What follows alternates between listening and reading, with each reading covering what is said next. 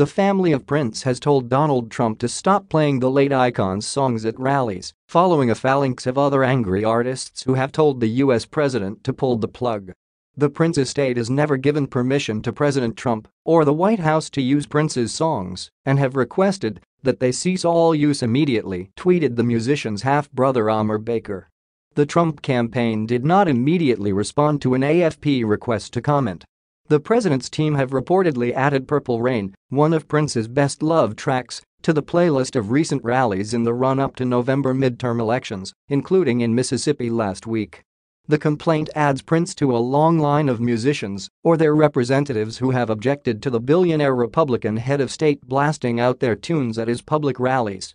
The Rolling Stones, Adele, Neil Young, R.E.M., Aerosmith, Queen, and George Harrison are among acts that have lodged objections to the use of their music at Republican gatherings.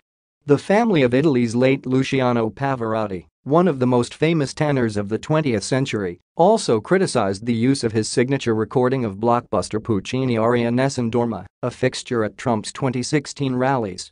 But during a question and answer session on Twitter two years ago Rolling Stones frontman Mick Jagger was quoted as saying there was nothing he could do under US law to stop Trump playing his music. If you're in a public place like Madison Square Garden or a theater, you can play any music you want, and you can't be stopped. So, if you write a song, and someone plays it in a restaurant that you go to, you can't stop them. They can play what they want, the Daily Beast quoted him as saying.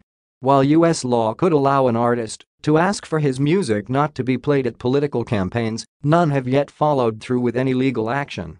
Prince died aged 57 in April 2016 from an accidental overdose of powerful painkillers. He left no will and had no living children, with his siblings put in charge of keeping his estate afloat.